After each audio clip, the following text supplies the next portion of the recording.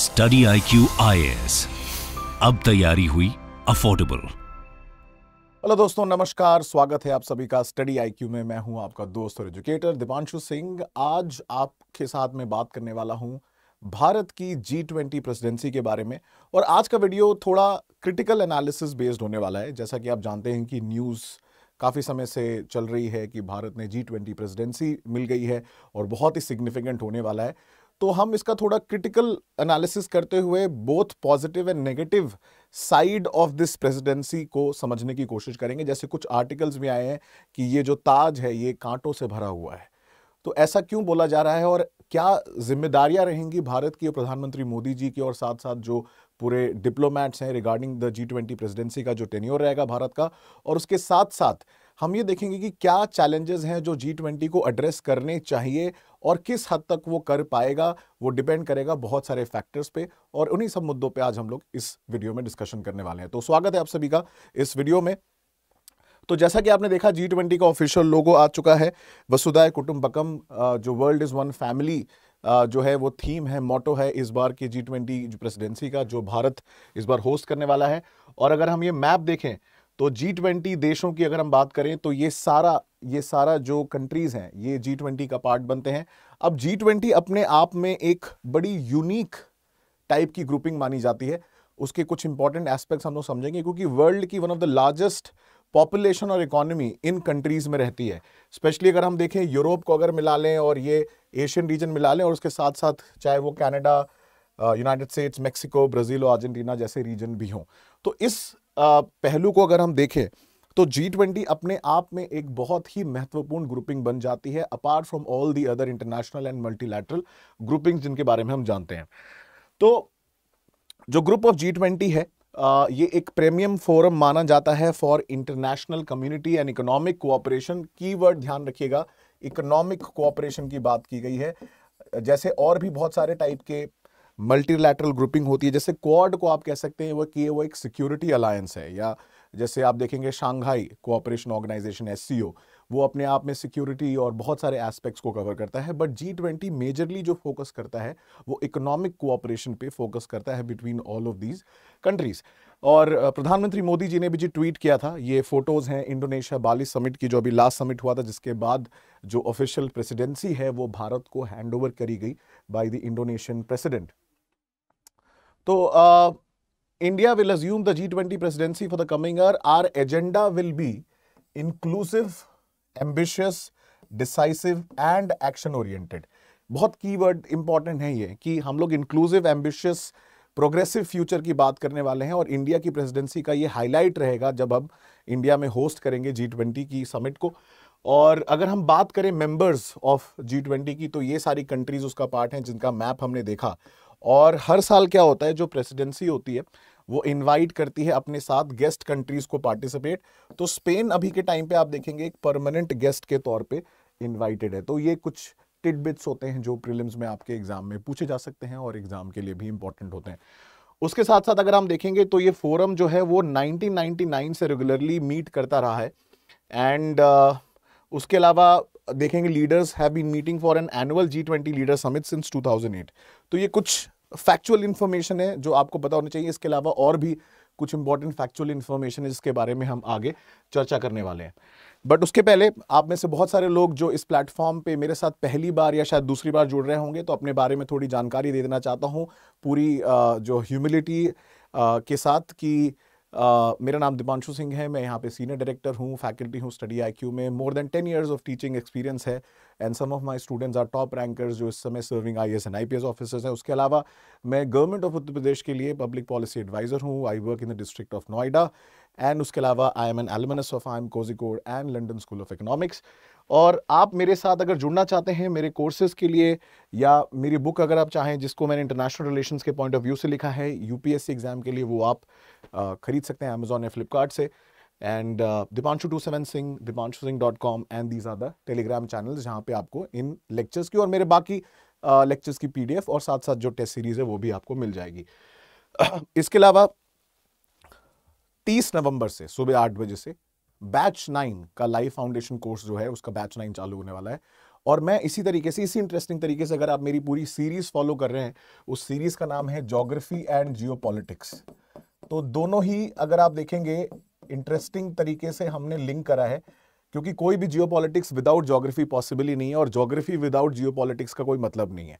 तो उसको फॉलो करने के लिए आप उस प्लेलिस्ट को सब्सक्राइब कर सकते हो। जिस इंटरेस्टिंग तरीके से हम लोग यूट्यूब पे पढ़ रहे हैं, उसको और ज़्यादा एडवांस लेवल पे हम लोग पढ़ेंगे इन लाइव फाउंडेशन कोर्सेज में, जहाँ पे वन टू वन मेंटोरशिप होगी साथ साथ डेली आंसर राइटिंग बहुत ही क्रिटिकल है। कितना भी पढ़ लो अल्टीमेटली सिलेक्शन आंसर लिख के ही होने वाला है, वो हम करेंगे। और इसको, इसका फ़ायदा पाने के लिए आप कोड यूज़ कर सकते हैं डीप लाइव जिसके बाद आपको डिस्काउंट मिल जाएगा। और 1899 में ये लोग ध्यान नहीं देते कि ये एक्चुअली दो साल का सब्सक्रिप्शन है। ये एक साल का नहीं है ट्वेंटी फोर मंथ्स मतलब इस प्राइस पे, इस लेवल ऑफ़ कमिटमेंट इस लेवल का क्वालिटी टीचिंग कहीं पे भी नहीं मिल सकता आपको। दैट इज़ फॉर श्योर तो चलिए, आगे बढ़ते हैं। बात करते हैं जी ट्वेंटी की। तो जी ट्वेंटी जो है, अगर हम उसके कुछ महत्वपूर्ण बिंदुओं को अगर हम देखें कि 80 परसेंट ऑफ़ ग्लोबल जीडीपी वो जी ट्वेंटी कंट्रीज़ से आती है 75 percent of international trade G twenty countries का है। 60 percent of the global population G twenty देशों में रहती है। तो इसीलिए जो कंट्रीज़ आपको दिख रहे हैं, ये ट्रिलियंस ऑफ़ डॉलर्स में किसकी कितनी इकोनॉमी है? 2021 का डेटा है ऑफकोर्स यूएस ठीक है चाइना जापान इंडिया यूके ये सारी कंट्रीज़ ऊपर रहेंगे। बट एक बहुत इंपॉर्टेंट चीज़ गौर करने लायक है जो मैंने यहाँ पे रेड में मार्क करी हुई है कि जी ट्वेंटी जैसा मैंने पहले भी बताया, अपने आप में एक अलग किस्म की इंटरनेशनल ग्रुपिंग कह सकते हो। और ये जो है, इसका कोई पैरेलल नहीं है वर्ल्ड में, ठीक है? इसका कोई पैरेलल नहीं है बिकॉज़ यहाँ पे मेजर डेवलप्ड कंट्री भी आते हैं और साथ साथ डेवलपिंग देश भी आते हैं। जनरली आप देखेंगे जी सेवन हो गया डेवलप्ड कंट्रीज़ हो गए, या जी सेवेंटी सेवन हो गया डेवलपिंग कंट्रीज़ हो गए जी एट्टी हो गया। ये जी ट्वेंटी एक लौती ऐसी ग्रुपिंग है, जहाँ पे डेवलप्ड और डेवलपिंग कंट्रीज़ दोनों का समन्वय सिनर्जी ठीक है सिंथेसिस देखने को आपको यहाँ पे मिलता है। इसीलिए ये बहुत अलग है। और यहाँ पे इसीलिए हर कंट्री का अपना एक व्यू पॉइंट है, जिसको अप्रिशिएट किया जाता है, जिसको रिस्पेक्ट किया जाता है। ऐसा नहीं कि आप डेवलपिंग देश हैं तो आपकी बात नहीं सुनी जाएगी। और ये सबसे क्रिटिकल बात है इस जी ट्वेंटी ग्रिपिंग की। जिसमें आप देखेंगे इन सारी कंट्रीज़ के साथ ये कंट्रीज़ भी आती हैं और 85 percent of global GDP 75 percent of international trade से ज़्यादा 60 परसेंट ग्लोबल पॉपुलेशन इन देशों में रहती है, अगर हम विश्व की बात करें। तो इसलिए जी अपने आप में एक अति महत्वपूर्ण ग्रुपिंग मानी जा सकती है। और डॉक्टर जयशंकर साहब के बारे में तो क्या ही बोले, अपने आप में रॉकस्टार हैं डॉक्टर जयशंकर साहब और ministry of external affairs spokesperson person अगर हम उनकी बात सुने, जो ऑफिशियल स्टेटमेंट आया था कि भारत की जी ट्वेंटी प्रेसिडेंसी किस इंपॉर्टेंट चीज़ पे फोकस करेगी तो उन्होंने कोट अनकोट बोला कि जो प्रायोरिटी रहेगी अपकमिंग समिट की, वो बहुत ही, अगर आप देखेंगे, अभी फर्म अप की जा रही हैं and the set discussion among all the members countries will include issues related to women women empowerment ठीक है? Digital public infrastructure, health, agriculture, education, culture, tourism, climate financing very crucial circular economy कैसे सारे देश आपस में interconnected economy interconnected है। ठीक है global food security energy security green hydrogen disaster risk reduction and resilience fight against economic crime and multilateral reforms जिसमें सबसे महत्वपूर्ण है यूएन सिक्योरिटी काउंसिल का रिफॉर्म तो ये मतलब एक ब्रॉड थीम है। ऑफ़ कोर्स डिस्कशन सब चीज़ों पे होगा बट अल्टीमेटली रिज़ल्ट या जो फाइनल डिस्कशन है उसके बाद जो पहलू निकल के आएँगे वो बहुत ही आ, कह सकते हो कुछ सर्टन स्पेसिफिक एरियाज़ पे होंगे बट इन सारे मुद्दों पे चर्चा होगी और ये इंडिया ने अपना स्टांस क्लियर कर दिया है कि हम लोग इन मुद्दों पे फोकस करेंगे अपनी जी ट्वेंटी की प्रेसिडेंसी पे। तो जी ट्वेंटी के बारे में थोड़ी और इंफॉर्मेशन ले लेते हैं अगर आप लोगों को थोड़ा इसके बारे में आइडिया ना हो कि जी ट्वेंटी जो अगर हम ब्लॉक्स की बात करें तो जी ट्वेंटी का अपना खुद का कोई परमानेंट सेक्रेटेरिएट तो देखिए है नहीं, ठीक है? और प्रेसिडेंसी में तीन कंट्री का रोल होता है, ठीक है? ट्रॉयका जिसको बोलते हैं, ये ट्रॉयका क्या है? तीन कंट्री है, ठीक है? एक होगा प्रीवियस प्रेसिडेंट एक होगा करंट प्रेसिडेंट और एक होगा इनकमिंग प्रेसिडेंट तो इसमें ये ट्रॉयका ये बड़ा इंपॉर्टेंट हो सकता है वैसे प्रीलिम्स के लिए अगर आप देखोगे तो it can become very very crucial for your exam कि यूपीएससी प्रीलिम्स में इसको पूछा जा सकता है कि भाई, इस बार जी ट्वेंटी होने वाला अगले साल तो ट्रॉयका किसका किसका है? तो प्रीवियस प्रेसिडेंट कौन सा, कौन सी कंट्री थी? इंडोनेशिया था करंट प्रेसिडेंट अब कौन हो गया? इंडिया, और ठीक है, उसके अलावा इनकमिंग प्रेसिडेंसी एंड करंट उसके बाद अब अगला होगा इटली। तो पहली बार इंटरेस्टिंगली ये होगा कि first time the troika with consist of three developing countries बहुत ही महत्वपूर्ण अगेन बहुत ज़्यादा इंपॉर्टेंट है। नहीं जनरली क्या होता था कि डेवलप्ड कंट्रीज़ होते थे, वो ट्रॉयका के पार्ट होते थे। ऐसा पहली बार हो रहा है कि ट्रॉयका ये जो तीन कंट्रीज़ हैं, उसमें तीनों की तीनों countries Indonesia Italy and India ये तीनों की तीनों डेवलपिंग कंट्रीज़ की कैटेगरी में आती हैं। और इस वजह से जो डेवलपिंग देश हैं, उनका एक कलेक्टिव रिप्रेजेंटेशन करेंगी ताकि ज़्यादा मजबूती से, गहराई से डेवलपिंग देशों की बात इंडिया इंडोनेशिया जैसे रखी इंडिया और इटली भी रख पाए। ये बहुत ही इंपॉर्टेंट है। और उसके साथ साथ आप देखेंगे जैसे अभी हमने थोड़ी देर पहले बात करी कि जी ट्वेंटी प्रेसिडेंसी में क्या होता है कि जनरली एक कन्वेंशन uh, है ट्रेडिशन है कि कुछ गेस्ट कंट्रीज़ को भी पार्ट बनाया जाता है इंटरनेशनल ऑर्गेनाइजेशंस को एज गेस्ट बुलाया जाता है। तो उसी तरीके से आप देखेंगे इस बार बांग्लादेश इजिप्ट मॉरिशस नेदरलैंड्स इन सारी कंट्रीज़ को यूएई उसके अलावा international solar alliance coalition for disaster resilient infrastructure इनको इंडिया की प्रेसिडेंसी के टाइम पे बुलाया जाएगा। अब इसमें एक बहुत बड़ा पॉइंट छिपा हुआ है या कंसर्न देखने को मिलता है। वो क्या है? आपने नोटिस किया गया होगा कि साउथ एशिया में सिर्फ़ बांग्लादेश को इनवाइट किया है नाइदर नेपाल और एनी अदर कंट्री जो बहुत सारे पॉलिसी एक्सपर्ट्स का मानना है कि अगर इंडिया अपने नेबरहुड फ़र्स्ट पॉलिसी को फॉलो करता है तो उसको ध्यान में रखते हुए शायद वो और कंट्रीज़ को बुला सकता था बट उसके अपने रीजंस हो सकते हैं, क्योंकि बांग्लादेश की इकोनॉमी कंपेरेबली आप देखेंगे, बाकी सारे साउथ एशियन कंट्रीज़ मतलब अगर हम इंडिया को बाहर कर दें तो प्रेसिडेंट को बाहर कर दें तो बहुत ही बेहतर स्थिति में और काफ़ी अच्छा परफॉर्म कर रही थी इवन दो वो आईएमएफ के पास पास खुद भी गए थे, लेकिन फिर भी कंपैरेटिवली बाकी कंट्रीज़ के कंपैरिजन उनकी इकोनॉमी काफ़ी बड़ी है और काफ़ी अच्छा परफॉर्म कर रही है। तो only south Asian country to be invited is Bangladesh which is a cause of concern for neighbours and policy experts का भी सिमिलर ही कुछ विचार है इस चीज़ को लेके। और जी ट्वेंटी की अगर हम बात करें इसमें ना दो पैरल ट्रैक्स होते हैं दो पैरल डिस्कशन होते हैं। ट्रैक वन ट्रैक टू हम ऐसे डिप्लोमेसी पढ़ते हैं इंटरनेशनल रिलेशन uh, में। तो दो पैरल ट्रैक मतलब दो अलग अलग लेवल पे चर्चाएँ होती हैं। एक होता है द फाइनेंस ट्रैक ठीक है which is led by the finance minister and दो जो आपके सेंट्रल बैंक गवर्नर्स होते हैं जैसे हमारे आरबीआई गवर्नर होंगे। और उसके अलावा एक होता है शेरपा ट्रैक ठीक है these are the personal emissaries मतलब उनके पर्सनल डिप्लोमैट बोल लो लीडर्स होते हैं जिनको प्रधानमंत्री या उनके देश के जो राष्ट्राध्यक्ष हैं वो खुद अपॉइंट करते हैं हेड ऑफ़ द स्टेट कि वो उनके बेसिकली कॉन्फिडेंट मतलब कॉन्फिडेंट कह सकते हो या उनके द्वारा अपॉइंटेड चुने चुने गए व्यक्ति जिन पे उनका पूरा विश्वास है कॉन्फिडेंस है कि ये लोग अच्छे से डिस्कशन कर सकते हैं ये अपॉइंट किए जाते हैं। तो इस बार के आ, शेरपा कौन है? आ, उनके बारे में आप लोग आई एम प्रीटी श्योर जानते होंगे। जो बड़े फ़ेमस नीति आयोग के सीईओ रह चुके हैं, Shri Amitabh Kant ji former I officer हैं। और साथ साथ former foreign secretary Harsh V Shringla साहब को भी अपॉइंट किया गया है as India chief G twenty coordinator at the secretary level ठीक है, इनको भी अपॉइंट किया गया है। तो अब शेरपास का एक्चुअली काम क्या होता है? तो शेरपास जो होते हैं दे ओवरसी द नेगोशिएशन पूरे साल भर एक्चुअली में जब ऐसे समिट से इवेंट होते हैं, हमें लगता है कि प्रधानमंत्री जी गए और डिस्कशन हो गया, बात खत्म हो गई, ऐसा होता नहीं है। सालों साल पीछे डिफरेंट डिफरेंट लेवल्स पे डिफरेंट ट्रैक्स पे डिप्लोमेसी होती रहती है। Diplomats sherpas finance ministers commerce ministers अलग अलग लेवल पे एम्बेसी लेवल पे बहुत सारे रोज ही कुछ ना कुछ डिस्कशन हो रहा होता है।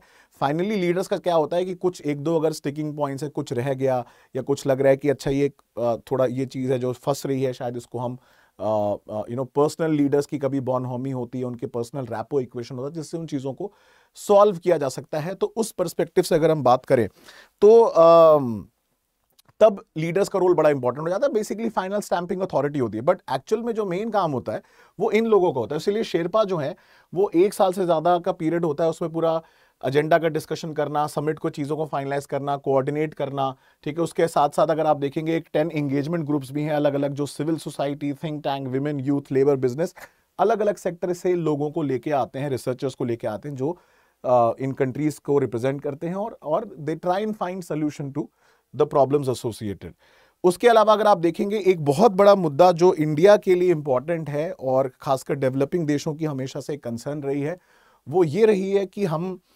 world bank international monetary fund ठीक है, चाहे डब्ल्यू हो, इन सब में जो रिफॉर्म्स हैं, वो बहुत ज़रूरी हैं। उसके साथ साथ UN reforms and UN security council reforms भी एक प्रायोरिटी एजेंडे पे रहेगा under this G twenty leadership अब आते हैं हम लोग क्रिटिकल एनालिसिस पे जी ट्वेंटी की प्रेसिडेंसी की, कि इंडिया की जो जी ट्वेंटी प्रेसिडेंसी होने वाली है ठीक है, इसको एक रूटीन चेंज ऑफ़ गार्ड नहीं माना जा सकता। रूटीन चेंज ऑफ़ गार्ड का मतलब कि अच्छा चलो, जैसे और भी देशों की प्रेसिडेंसी थी, वैसे इंडिया की भी आ गई क्या फ़र्क पड़ता है? कोई बहुत ज़्यादा फ़र्क नहीं पड़ता। ऐसा नहीं है भैया। इंपॉर्टेंट है बहुत। और ये मैंने कुछ ऑथेंटिक ऑनलाइन सोर्सेज से आप लोगों के लिए पिकअप किया है, ताकि आप लोग के लिए आज यूजफुल रहे आंसर राइटिंग के लिए। कि पहला तो क्या है कि timing of the presidency is very important because world जो है एक एक्सट्रीम जियो और जियो इकोनॉमिक स्ट्रेस से पास कर रहा है। और आप लोग जानते ही हैं रशिया यूक्रेन वॉर की वजह से ग्लोबल चैलेंजेस निकल के आ गए इकोनॉमी क्रम्बल कर गई रिसेशन के खतरे जो खतरा है वो घूम रहा है। और स्पेशली पोस्ट पैंडेमिक ट्रांजिशन जो इजी होना था वो रशिया यूक्रेन वॉर की वजह से थोड़ा डिस्टेबलाइज हो गया, थोड़ा क्या बहुत डिस्टेबलाइज हो गया। तो टाइमिंग ऑफ़ प्रेजिडेंसी इज़ बहुत important secondly threats to multilateralism तो अब जैसे आप देखेंगे ग्लोबल चैलेंजेस बढ़ते चले जा रहे हैं अलग अलग टाइप के विश्व चुनौतियाँ निकल के आ गई हैं तो मल्टीलैटरलिज्म का कहीं ना कहीं रोल कम होता हुआ दिखाई दे रहा है। उस समय जब इंडिया जी ट्वेंटी की प्रेसिडेंटशिप को संभालेगा तो उसका क्या रोल होगा और कैसे संभालेगा, ये बहुत ही महत्वपूर्ण हो जाएगा। साथ साथ इंडिया का ग्रोइंग क्लाउड एंड क्रेडिबिलिटी अब इंडिया का जो दबदबा है, वो पूरा विश्व जान चुका है और इंडिया का दबदबा बढ़ता ही चला जा रहा है। सो इंडियाज ग्रोइंग क्लाउड ठीक है, अगर आप देखें परसेप्शन ऐसा है कि इंडिया की जो लीडरशिप क्वालिटी है, वो बहुत ज़्यादा ट्रांसफॉर्म हो चुकी है। डॉक्टर जयशंकर जैसे आप देखें अजीत डोवाल साहब है, प्रधानमंत्री मोदी जी हैं, वो किसी के ना दबाव में आते नहीं आपने खुद ही जवाब देखा होगा डॉक्टर जयशंकर साहब का कि भाई if we are not choosing a side it does not not mean that I am just sitting idle on the fence. I'm just sitting on my own ground. भाई, हमें हमें फ्रीडम होनी चाहिए ना, हमें क्या चूज़ करना है, कैसे चूज़ करना है, कब रिएक्ट करना है। तुम्हारे कहने पर थोड़ी करेंगे। तो यूरोप यूरोपियन देशों को उन्होंने काफ़ी ओकेजन्स पे उनके ही तरीके से जवाब दिया है। तो वो एक बहुत अच्छी तरीके से अप्रिशिएट भी किया जा रहा है कि इंडिया किसी के दबाव में नहीं आ रहा है। चौथी चीज़ है structure of the G twenty तो अगर हम स्ट्रक्चर की बात करें उसकी इंक्लूसिव ग्लोबल रीच की बात करें अटेंशन टू इंप्लीमेंटेशन की बात करें ग्रास रूट्स की बात करें क्योंकि सिविल सोसाइटी ऑर्गेनाइजेशन का इन्वॉल्वमेंट होता है इसमें और इंडिया जो है uh, वो भले ही 2023 के बाद अपनी प्रेसिडेंटशिप छोड़ देगा लेकिन because being a past president वो तब भी एजेंडा उसको ड्राइव कर सकता है। And it will be working with the next president of the G20 and an important developing country, Brazil, which is now under President Lula da Silva, known to be very close to India तो इसके बाद hand over हो जाएगा Brazil के पास। Indonesia India and Brazil ठीक है? तो इस तरीके से तो आप देखेंगे डेवलपिंग कंट्रीज़ जो हैं, उनका अगर हम हम बात करें तो इन तो past president current president and future president दोनों, तीनों का इन्वॉल्वमेंट होता है, तभी हम उसको ट्रॉयका बोलते हैं। तो अब पॉजिटिव से बाहर निकल के जरा हम लोग थोड़े चैलेंजेस की बात करते हैं। चैलेंजेस कहाँ से निकल के आते हैं? चैलेंजेस बहुत सारे हैं। और ये चीज़ हमारे पॉलिसी मेकर्स एंड डिप्लोमैट्स को भी समझना पड़ेगा कि इन चैलेंजेस को एड्रेस करना बहुत ज़रूरी है, क्योंकि ये कहीं ना कहीं एक पेन पॉइंट बने रहेंगे। तो अगर हम देखें, ठीक है, सबसे पहला जो है यूज़ ऑफ़ न्यूक्लियर वेपन्स जो है इंक्रीजिंगली बढ़ता चला जा रहा है। और इंडिया क्योंकि खुद भी ट्रीटी ऑफ़ नॉन प्रोलिफरेशन का सिग्नेटरी नहीं है सीटीबीटी हमने नहीं साइन किया है तो हम दूसरे कंट्रीज़ को कैसे प्रेशराइज कर सकते हैं, जैसे रशिया हो गया यूक्रेन हो गया। ठीक है उनको कैसे बोल सकते हैं कि आप वेपन्स ऑफ़ मास डिस्ट्रक्शन मत यूज़ करो। दूसरा पॉइंट कि क्या हम substantive ideals for global institutions जो कमिंग डेकेड की हम बात कर रहे हैं हम सब्सटैंटिव आइडियल्स जो हैं मतलब जो इंस्टीट्यूशंस को गवर्न करते हैं जिस आ, मतलब हम बात करते हैं कि हर इंस्टीट्यूशन का अपना एक इंपॉर्टेंट रोल होता है उनकी रिस्पॉन्सिबिलिटी होती है। हम खुद खुश नहीं है यूएन के फंक्शनिंग से और बाकी ऑर्गेनाइजेशन के तो क्या हम उस चीज़ को उतने अच्छे तरीके से रख पाएँगे इस प्लेटफॉर्म पे। तीसरा can we push the world to rethink our current economic system which will only accentuate extremes of wealth as well as poverty देखिए इंडिया में, ठीक है, सरकार बहुत कुछ करती है लोगों के लिए, लेकिन फिर भी हम लोग देखते हैं कि ऑक्सफैम और इतने सारे इनिक्वालिटी रिपोर्ट आते हैं। भारत में जो रिच है और पुअर है, उसका गैप बढ़ता चला जा रहा है, ठीक है? Income inequality is one of the highest in fact ऐसा माना जाता है, कुछ रिपोर्ट्स कहती हैं कि इनकम इनक्वालिटी जो है, वो 1947 48 के पीरियड को बिलोंग कर रही है, इस समय की इतनी ज़्यादा डिफरेंस है इनकम की। तो क्या कंसिडरिंग कि हमारी सोसाइटी में जहाँ पे एंशियंट ट्रेडिशन है गांधीयन थिंकिंग गांधीयन फिलोसफी है, क्या हम इसको बैलेंस कर सकते हैं सस्टेनेबल डेवलपमेंट को, या ह्यूमन नीड्स को रादर देन मिलिट्री सिक्योरिटी क्या हम फोर्स कर सकते हैं वर्ल्ड को towards rethinking the substance of democracy क्योंकि इंडिया वर्ल्ड की लार्जेस्ट डेमोक्रेसी है। बहुत सारे ऐसे देश हैं आज के टाइम पे आप देखते हो जहाँ पे डेमोक्रेसी को खत्म किया जा रहा है साइनल्टी साथ साथ कैसे हम इंश्योर कर सकते हैं that the climate change does reverse progress in towards attaining sustainable development goals from the poorest and most vulnerable countries जो सबसे ज़्यादा अफेक्टेड है गरीब देश climate change specially island nations क्या हम उनके लिए कलेक्टिव वॉइस प्रेजेंट कर पाएँगे इसमें। रोल ऑफ़ मल्टीलैटरल इंस्टीट्यूशन जब हमने बात करी कि यूएन हो, ठीक है यूएन सिक्योरिटी काउंसिल हो वर्ल्ड बैंक हो आईएमएफ हो, क्या वो विश्व की जितनी प्रॉब्लम्स है उनके लिए वो कोई सोल्यूशन आज तक ढूंढ पाया है और क्या आगे ढूंढ पाएगा? इसीलिए हम लोग रिफॉर्म की बात करते हैं और सबसे महत्वपूर्ण बात कि यूरोपियन देश जो एक बहुत बड़ा चंक है बहुत बड़ा हिस्सा है इस जी ट्वेंटी का, उनका स्टांस चाइना और इंडिया को लेकर काफ़ी क्लियर नहीं है। तो इसके बारे में हम लोग थोड़ा डिटेल में बात करेंगे कि चाइना को लेके क्या कंसर्न है और स्पेशली यूएन की हम बात करेंगे और चाइना, रशिया यूएन का जो एक कंसर्न है उसके बारे में भी थोड़ा डिस्कशन करेंगे जी ट्वेंटी में क्योंकि ये बहुत इंपॉर्टेंट है। जैसे अगर हम देखें कि जो यूरोपियन यूनियन की अगर हम बात करें, जब गलवान पे चाइनीज़ ने हमला किया था तो इंडिया का सपोर्ट करने के बजाय दे टुक न्यूट्रल स्टैंड और उन्होंने ना ही चाइना को कंडेम्ड किया। इस अग्रेशन के लिए उसके साथ साथ वो खुद इस बात को जानते हैं कि चाइना उनका सबसे बड़ा थ्रेट है। यूएस को भी पता है यूरोप को भी पता है। लेकिन फिर भी they continue to dance with the dragon क्योंकि भाई मैन्युफैक्चरिंग है वहाँ से एक्सपोर्ट इतना ज़्यादा आ रहा है उनका। तो अभी भी उनके क्लोज टाइज बने हुए हैं। दूसरा, अगर आप देखें यूरोप जो रशिया को एक टेररिस्ट स्टेट बोलता है, लेकिन वहीं पे दोगलापन आप देखो इनका कि जो स्टेट स्पॉन्सर टेररिज्म का देश है, जो पूरा विश्व जानता है, उसके बारे में कोई कंक्रीट स्टेटमेंट उनका आज तक नहीं आया है। इनफैक्ट चाइना उनको महीने दर महीने कवर फायर देता रहता है और यूरोप भी उनके साथ डांस करता रहता है। तो ये थोड़ा दोगलापन दिखाता है यूरोपियन कंट्रीज़ का, क्योंकि वही कंट्रीज़ अल्टीमेटली जी ट्वेंटी के भी पार्ट हैं। और because UN has failed to do its duty and enforce peace security issue has become an economic challenge जो एक मिलिट्री इशू था रशिया यूक्रेन वॉर वो अब इकोनॉमिक चैलेंज बन गया है। वर्ल्ड में गैस प्राइस रॉकेट कर गए हैं क्योंकि रशिया पे सैंक्शन लगा दिया गया। इसकी वजह से इकोनॉमिक क्राइसिस आ गया रिसेशन के हालात हो गए, लोगों की जॉब्स जा रही हैं जो लोग समझ नहीं पा रहे हैं और इसमें यूरोप की उतनी ही बड़ी गलती है जितनी बड़ी गलती जब हम बोलते हैं रशिया और यूक्रेन दोनों की। और इसमें कहीं ना कहीं आग में घी डालने का काम जेलेंस्की साहब और यूरोपियन देशों का रहा है। ये चाहे आप माने चाहे ना माने बात, ये बट ये सत्य है। जो independent things tanks and policy experts भी बोलते हैं। तो जब हम इसकी बात करते हैं तो क्या वो लोग, वो कंट्री जी ट्वेंटी का पार्ट बनेंगी जब हैं, जब जब मीटिंग होगी, क्या वो इस पर कोई कंक्रीट स्टेप्स ले पाएँगे? क्योंकि ये भी एक इंपॉर्टेंट मुद्दा है डिस्कशन का during the G twenty presidency of India और साथ साथ giving that the rising prices और higher interest rates are the core economic concerns of all countries. It is heartening to see that the G20 Bali summit in Indonesia, वहाँ पे Indonesian president ने बहुत सही तरीके से उसको स्टीयर किया कि भाई we need to focus on economics we need to focus on economy and we need to focus on climate change दोनों को फोकस करके चलना पड़ेगा। वॉर जो है उसका समय नहीं है जैसे प्रधानमंत्री मोदी जी ने भी बोला। सिमिलरली हमें यह भी देखना पड़ेगा कि इकोनॉमिक्स बैक टू इकोनॉमिक्स पे हमें जाना पड़ेगा। We have to focus on economy और उसके लिए इन तीन, जैसे हमने बात करी ना ट्रॉयका की, कि भाई अब जैसे ट्रॉयका है ब्राज़ील, इंडिया, इंडोनेशिया, वैसे ये तीन ट्रॉयका, ध्यान से देखिएगा, यही लोग रिस्पॉन्सिबल होंगे, प्रधानमंत्री Modi N S Ajit Doval and हमारे रॉकस्टार डॉक्टर एस जयशंकर साहब। इन तीनों का बहुत इंपॉर्टेंट रोल रहने वाला है कि भारत की जी ट्वेंटी प्रेसिडेंसी कैसी होगी, कैसा उसका रिज़ल्ट निकलेगा और कैसे उस पर डिस्कशन होंगे। तो दोस्तों, ये था critical analysis of the G twenty presidency of India इसमें जैसे भी अपडेट्स आते रहेंगे, हम उसको कवर करते रहेंगे अपनी series of geography and geo और आप मेरे कोर्सेज को ज्वाइन करने के लिए कोड यूज़ कर सकते हैं deep live live foundation course में ऐसे ही मज़ेदार तरीके से हम लोग जियो और जोग्राफी पढ़ेंगे। सो टिल नेक्स्ट टाइम दोस्तों thank you so much and Jai Hind study I Q आई अब तैयारी हुई अफोर्डेबल